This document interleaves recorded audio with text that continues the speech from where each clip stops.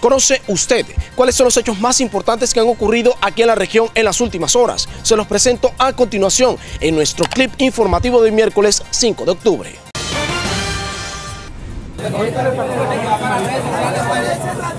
En las próximas horas será judicializada la mujer que había cometido un hurto en la tienda King Kong, ubicada sobre la avenida Simón Bolívar de Valledupar. Esta persona fue capturada cuando también cometía un hurto en el barrio 12 de octubre. Cabe resaltar que la mujer se había tinturado el cabello de rubio para pasar desapercibida ante las autoridades, quienes ya la tenían identificada. La capturada fue identificada como Laura Andrea Daza Blanco. Hemos neutralizado a dos importantes delincuentes que venían azotando las calles de Valledupar y generando hurto a personas. Responden a los nombres de Jorman Rodríguez Terán y Laura Andrea Daza Blanco. Estos dos jóvenes ya han sido neutralizados, presentados ante un juez de control de garantías y quedarán sometidos a una detención preventiva en el centro carcelario.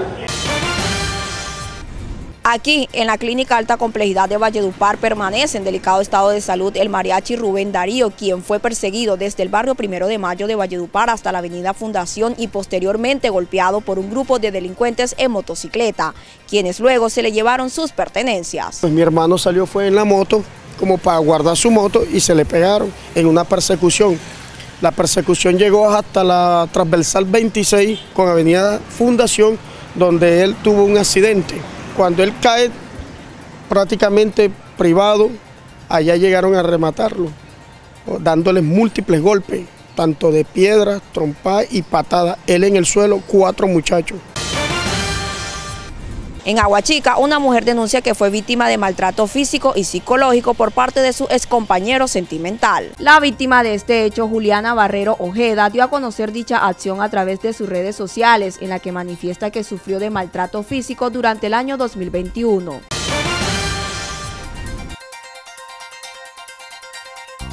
Neneco, el hijo del empresario Juaco Guillén, se recupera satisfactoriamente luego de ser herido en medio de un atraco en días pasados en el barrio Los Músicos, norte de Valledupar.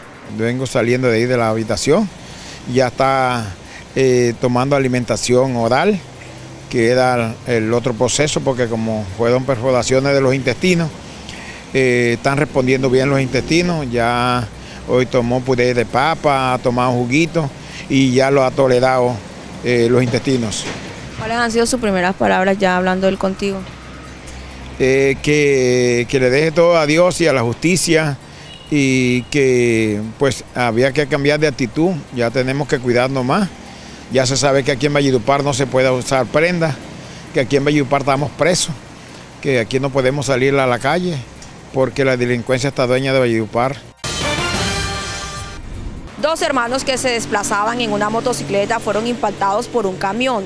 Uno de ellos murió y el otro resultó gravemente herido. El hecho se registró en el municipio de San Alberto Cesar. La víctima fue identificada como Camilo Sánchez Herreras, mientras que su hermano fue trasladado gravemente a un centro médico. Más de 900 atletas ya están inscritos y listos para participar de la media maratón que se desarrollará este 17 de octubre desde el Parque de la Leyenda Vallenata. La Procuraduría citó a declarar a los cantantes vallenatos Ana del Castillo, Churo Díaz y el Mono Zabaleta tras determinar que prestaron sus servicios en una fiesta que duró tres días en el pabellón de extraditables de la cárcel La Picota. Ahí tendremos que escuchar y mirar quiénes eran los guardianes que estaban de turno, eh, cómo se dieron esas autorizaciones, cómo entró un conjunto vallenato completo, cómo entraron cantantes. Es decir, todo eso ya empezamos a hacer una ordenación probatoria para recoger los elementos probatorios suficientes y tomar las determinaciones del caso. En la Asamblea Departamental del Cesar habrá cambios, luego que el Consejo de Estado ratificara la pérdida de investidura de la diputada Petra Romero por haber participado en la elección del excontralor departamental Delwin Jiménez, esta curul será ocupada por Manuel Mejía, el secretario de Minas del Departamento del Cesar.